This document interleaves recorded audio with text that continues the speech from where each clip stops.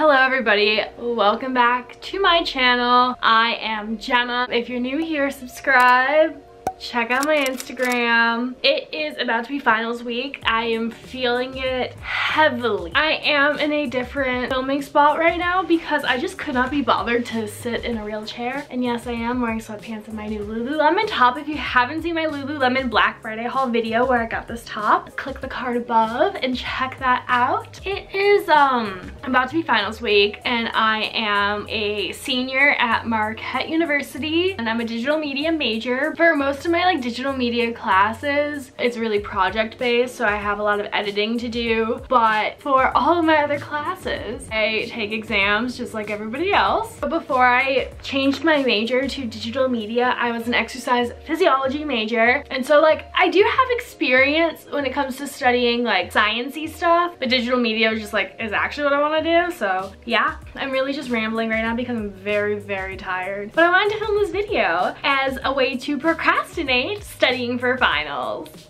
pretty much I'm just gonna go over how I like to prioritize my time and study. This is the way that works for me. It doesn't necessarily mean that it will work for you. I am a straight A student generally, but I do work very, very hard for them. I've really definitely figured out like what works best for me for studying without a doubt. I prioritize my time studying for finals based on how I'm doing in the class and and when the final exam is. While it might be important if I have an exam on Monday, so I definitely need to right away start studying for that exam. But depending on my grades in that class, I honestly might not put in as much time for a Monday exam as I could for like a Tuesday or a Wednesday exam, depending on my grade. Right in the beginning of the semester, I really make a point to get myself as organized as possible. I right away look at the syllabuses, syllabi for all of my different classes, and I break down the grades, the assignments, and all of that into a spreadsheet on Excel. I make different tabs at the bottom so they each have their own page.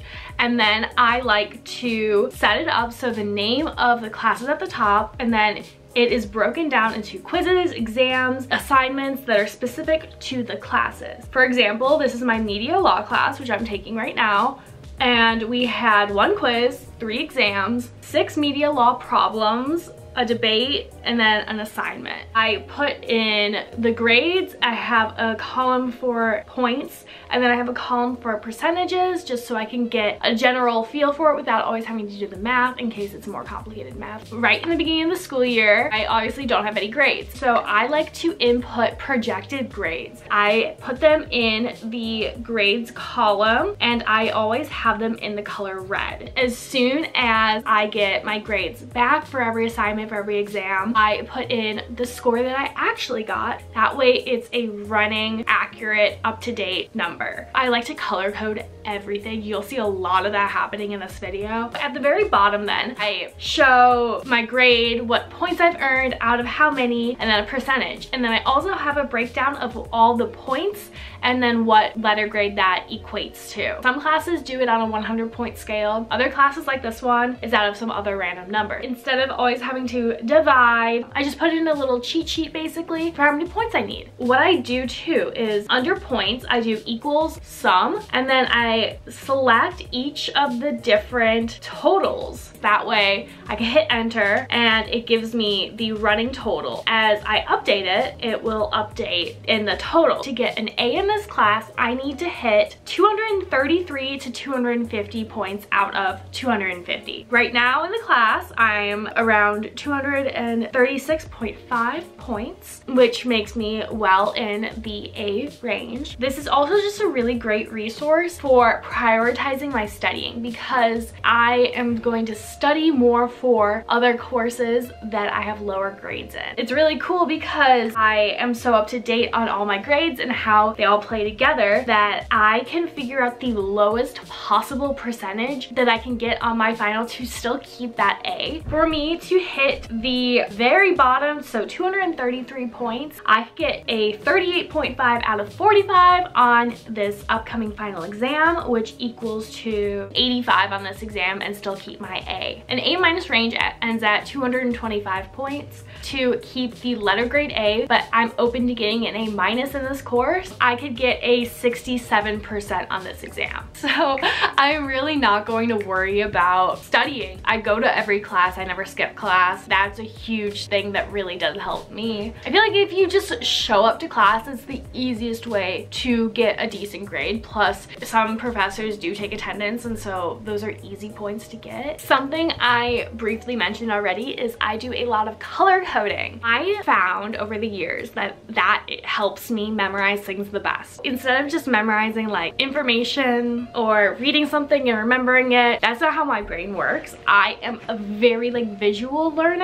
I've just found that I remember things the best if I memorize the colors and the patterns instead of the information. So this is just what I made today for this exam. I always like to use plain printer paper because I like to be able to write really small. I have always used columns instead of using the full sheet and then I color code everything. I will include a closer up picture of this piece of paper and I just put in as much information onto a sheet of paper as I possibly can. When I go to take the test, I just like review it real quick right before the exam and then I put it away and I take the exam and one of the first things I do is if there's like a diagram or a table or something that I have to memorize, I immediately go and I draw out the diagram exactly how I just saw it. And I always put everything in the exact same order. Instead of putting on like your study sheet, uh, red, blue, green, you put blue, red, green on that and then you put red, green, blue on another like on your note card. It can become confusing it's just giving your brain one extra step to remember, or at least that's how I always feel like. I really found that consistency helps. Just being as consistent with the material and how you present it,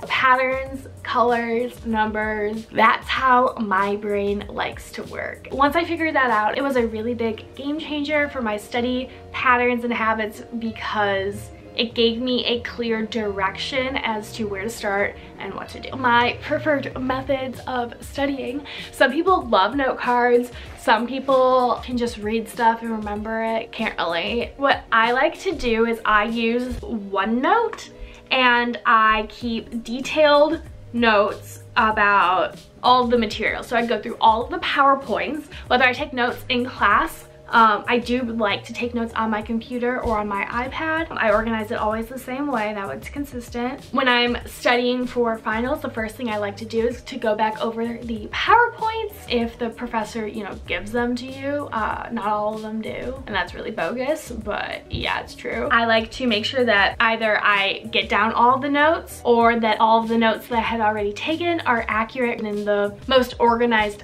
fashion. Then once all of my notes are done, then I go ahead and make one of these sheets. I cannot handwrite everything and I cannot type everything. I have to do a mixture of both for my brain to really process it. So it's a lot of repetition, but that way you can remember the patterns. I found that if I just type, it can become like mindless at some points, but handwriting can be so slow at some points that like typing it out really quick helps too. And anything I'm having problems remembering or I'm getting confused, I like to make note cards. Instead of using like actual index note cards, I take a, another sheet of paper and I just make a stack of paper note cards. It's easy. I will always have enough because I could just grab another piece of paper. And then I also color code my note cards to match with my sheets. So like this one center category is all green and I have a set of note cards which have terms, dates,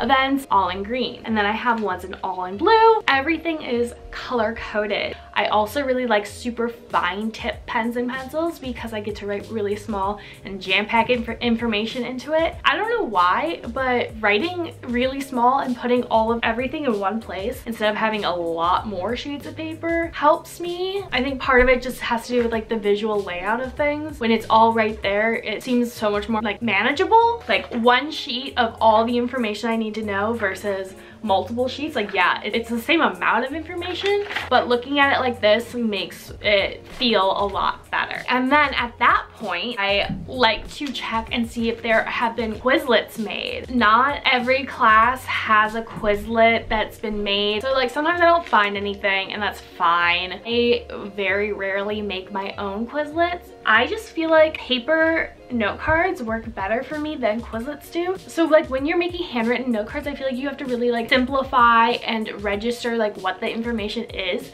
because you don't want to write down a full paragraph of information like directly from a PowerPoint. I really do like the learn it feature and the test feature that Quizlet does have. If I could find that someone already made a Quizlet for the class, um, I like to do that. When it comes to really processing the information, I feel like writing up note cards and selecting what you think is the most important parts of a definition or of something makes it easier to remember. I work really well under pressure and so I have a lot of trouble pushing myself to study a week in advance. But if I ever do, it's amazing and I feel great and I am so calm for the exam. I do work better in the mornings than at night and so I prioritize sleep and eating. Then I wake up at 5, 6, 7 a.m., go to the library depending on whatever time I have class because I am the most productive when I am not hungry, not tired, and it's the morning. I just do so much better in the mornings than at night. Okay, so sorry if that was kind of rambly. Thank you so much for watching. These are some of the tips and tricks that I use to study for my finals. It's just, it's a lot of color coding, a lot of repetition, and a lot of planning and prepping to give yourself the best odds of not completely freaking out and procrastinating. But let's be real, it happens, it's college. Well, I'll see you guys in the next one. Bye.